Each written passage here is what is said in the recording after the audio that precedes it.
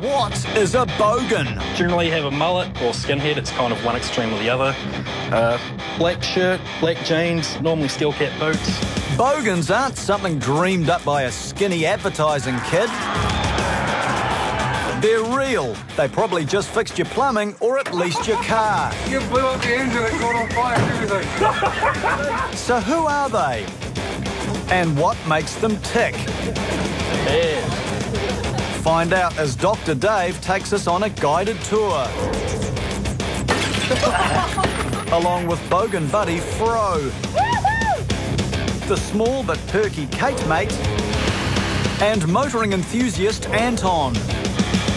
Tonight, open bonnet surgery, country style. Turn it off.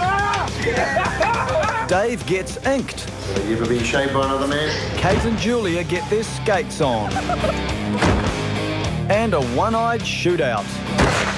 There's something strangely satisfying about that.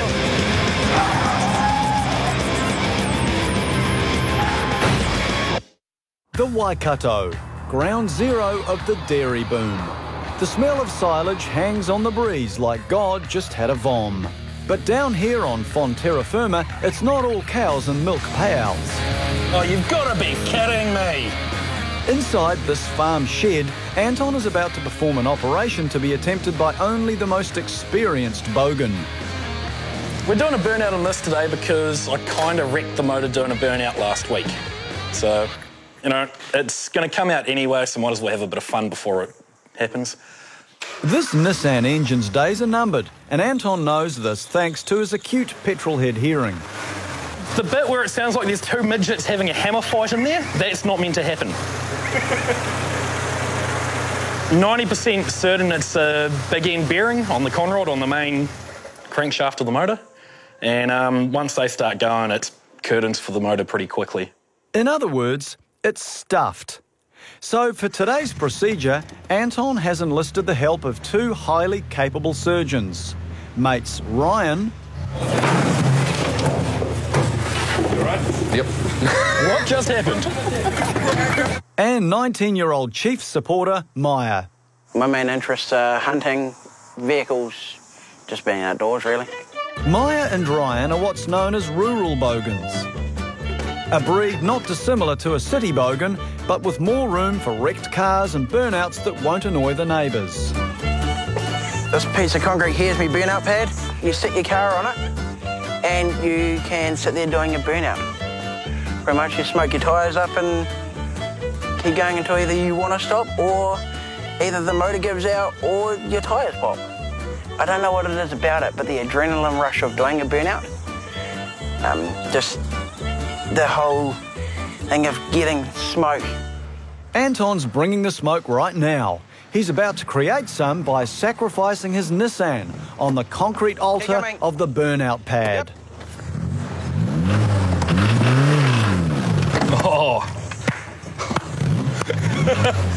I think the clutch is. Hamilton beauty therapist Kate Mate and her sometime tag-along Julia have something out of the ordinary planned for this Friday evening. Why did I sign up for this? oh my god. This is your deal, not mine. Concerned about the cumulative effects of daily bourbons on their waistlines, Kate's jacked up a date at the local skating rink to have a go at roller derby. So close. Oh, yeah, dude. Oh my god, no one said there was going to be cock and balls here. I have no idea what to expect. Pretty hardcore sport where bitches just go out and roll each other up, really. Roller derby may involve very assertive women, but it also involves skill and stamina. How are you? I'm Shannon. Kate, nice to meet you. I'm How are Julia. you? Must be Julia. How are you? Good, thanks. How's it going? And the girls are getting a lesson from one of the best, Shannon, better known as Master Grief. We're not going to teach you some skating today. Yeah, that'll be good because I've never skated before in my life. Roller derby is a rapidly growing fun sport, and tonight the rink's been booked out by the Helmilton Roller Ghouls. Roller derby is predominantly female, but lately there's been men's leagues popping up everywhere, which is really cool. It is a contact sport on roller skates, and it's sort of like a race crossed with rugby around the track. Yeah, well, old Kate mate here reckons, can you come along? I need some moral support. You know, I need to empty a couple more vessels before we get this shit rolling because I was not prepared for this. I don't do any exercise. You're ruthless though. I'm a bit psycho, She is. but I've got no strength. I mean, I paint for a living. What are you going to get out of that, you know? She's tough. She's tough. I've seen her fight a few bitches. And guys, and guys. yeah, but yeah. I'm not very tough, you know. I'm not a very violent person. it's alright. I got this. I got this. I don't feel so bad. Let's just do it. Let's get amongst it. Okay. Bogan academic researcher Dr. Dave Snell has been nursing a five day hangover. See you Monday, man. Following his friend Fro's Bogan birthday bash the previous weekend, this is one of the last things he remembers. Along with this, and most alarmingly, this. And we're talking about selfies, and I'm like, oh, one day I'm going to do a selfie tattoo. So here we go. Let's do something. Bang. Stickman, horse and jockey. She's like, what's the pitchfork for? I'm like, that's the fucking winning post. With visions of sugar plums dancing in his head for a whole week, Dave has decided it's high time that he too got some fresh ink. So, just uh, finishing work. Going to head out to Morrinsville uh, to get a tattoo at Famous Dave's on the main street. So, Morrinsville's uh, one of the little satellite towns that kind of surround Hamilton. It's roughly about half an hour drive away. Um, I like to think that all these little towns almost have their own little bogan factory that sort of um, churns out these bogans that end up in Hamilton because, yeah, a lot of bogans in Hamilton are originally from Morrinsville or, or maybe Te Awamutu. No time to go home and get changed. Gotta get changed in the car. Every bogan worth his salty snacks knows that a car operating at full capacity also functions as a bedroom and walk in wardrobe. This is more appropriate Morrinsville gear.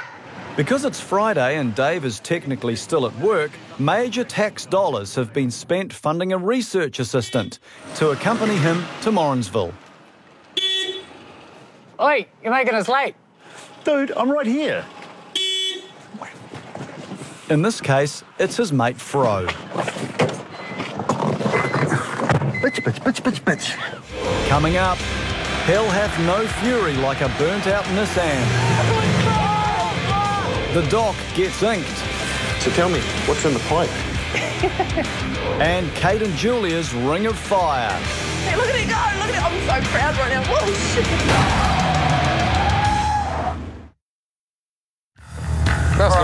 Should we tie it to the tractor? So ready to go again? Back at the ranch, it's now burnout time.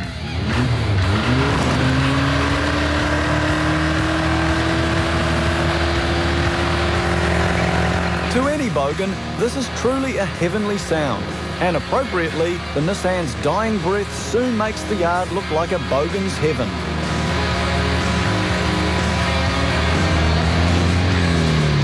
With a touch of hellfire. Turn it off. you blew out the engine and got on fire and everything. He's throwing a rod. Oh, yep.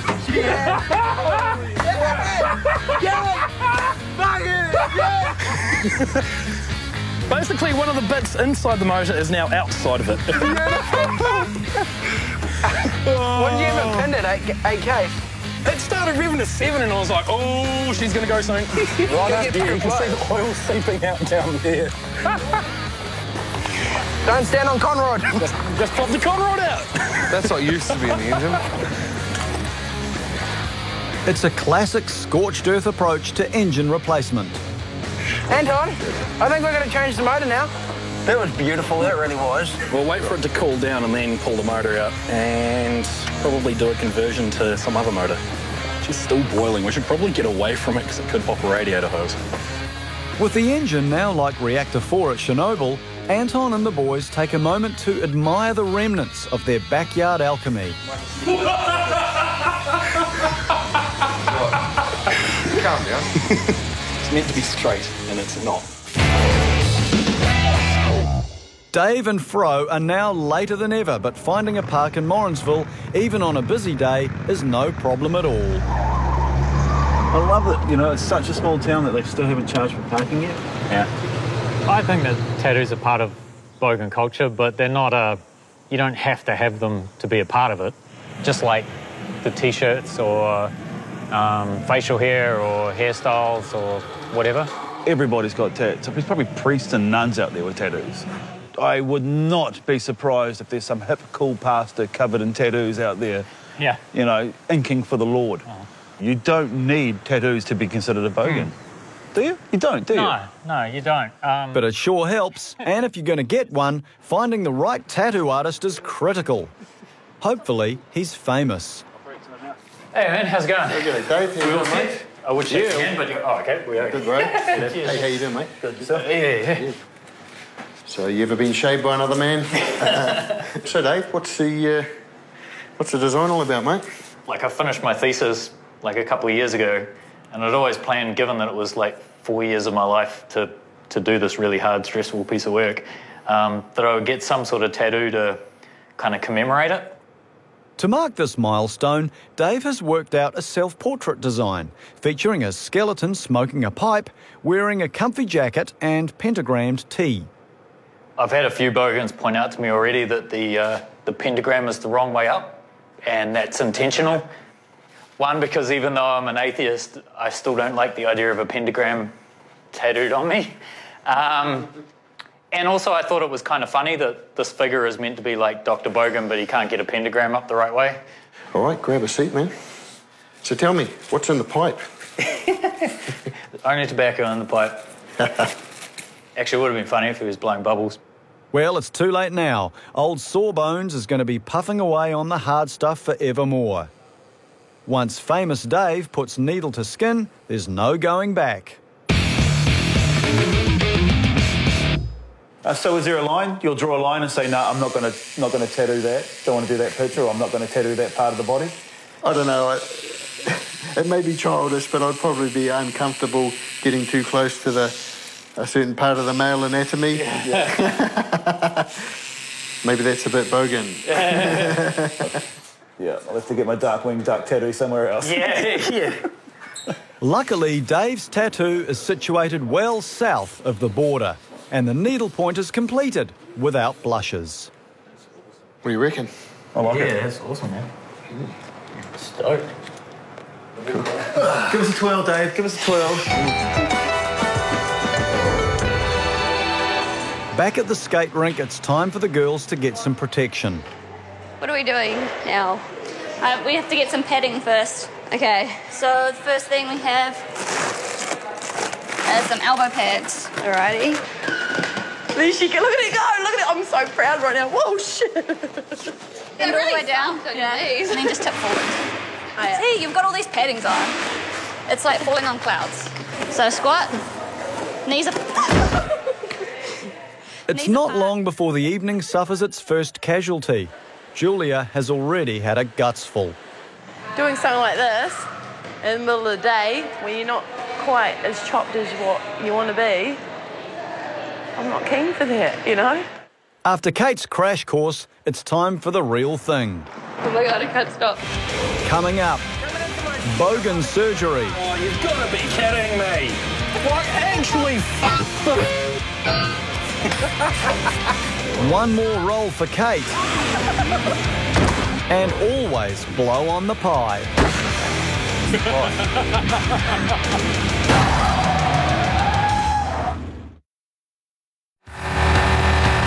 At the farm, Anton's ute has gone up in smoke.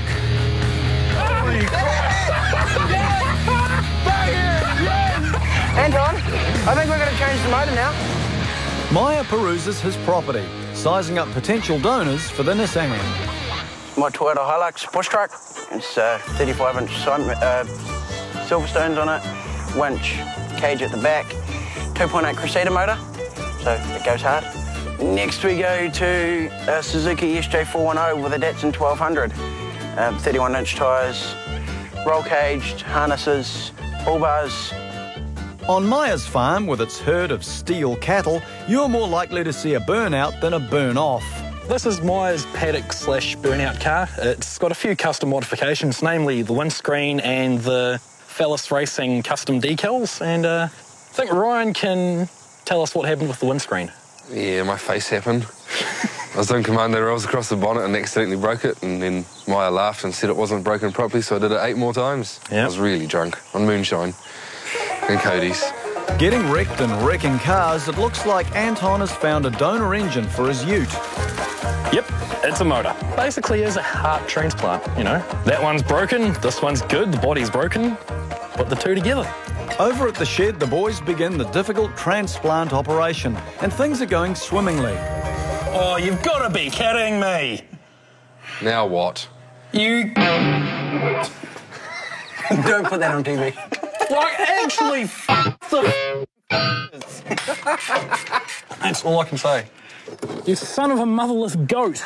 Cable off. No one here really knows what a motherless goat is, but one thing Anton knows is why Nissans suck. Why would you put that piece of metal there, you retards? Oh, no, I've just thought of something else that might have gone wrong. What? The um, spigot bearing may have seized on the input shaft because I've had that happen before. Hammer.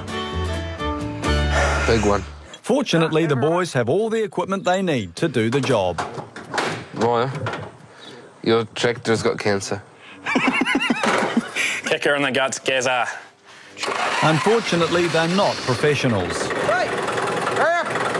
That's why Ryan is happy to position his tractor to remove the engine, but only when he's cleared his messages.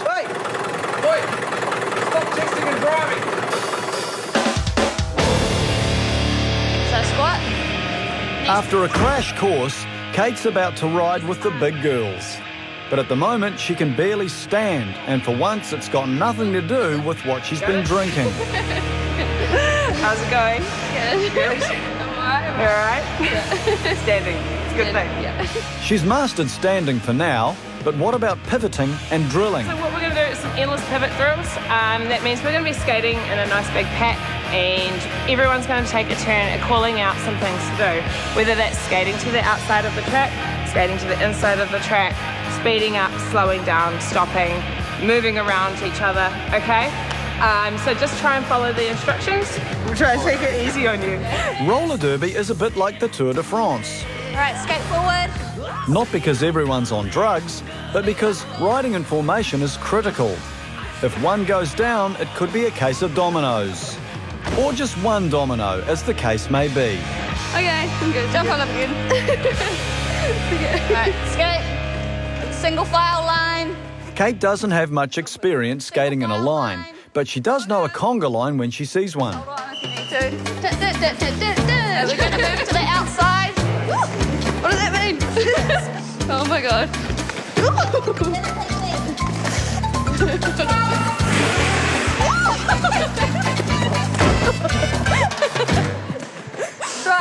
laugh. Put your toe stops down. Oh my god.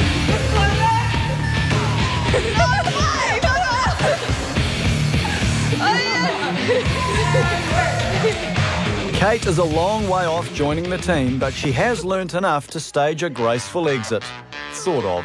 Oh my god. Thank you guys. Thank you so much. Thank you. You guys are impressive. Yeah. I'm done. That's so impressive. So hardcore, like so much harder than I thought it was gonna be. Don't know how they do it. oh, I need a drink. So initially, I thought that all these girls would be, you know, big, scary, butchy kind of bitches. Oh, okay.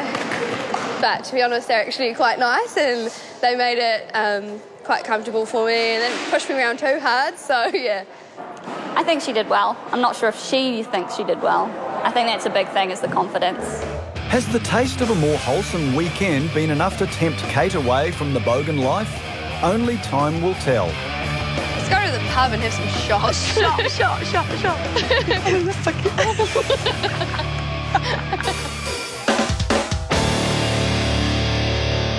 Oh, why have you put a bolt on the other Nissans? Back at the farm, the boys are about to finally prize the engine from Anton's deceased Nissan. But it's not going quietly. Angle grinder. There's one way of knowing that you're working on a car, liberal amounts of swearing. It actually helps you work faster. It makes things come apart easier when you swear at it. If we're in the guts and lift her up, mate. Oh, I'm just over this. Ah. Oh, you can't go up any further. Down. Down. The lifeless heart of this Nissan Navara has no further use. We won! Except possibly as a very inconvenient paperweight. wow.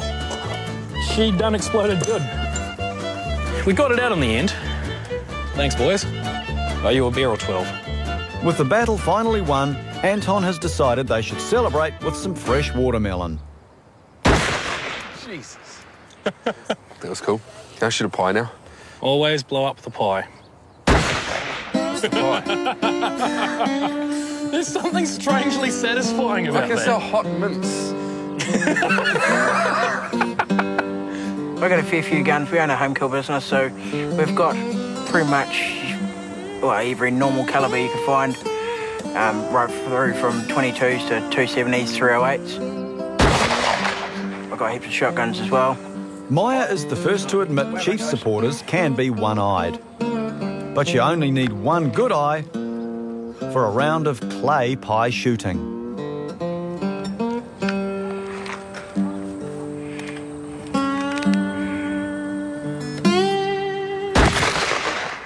yeah, that's so cool.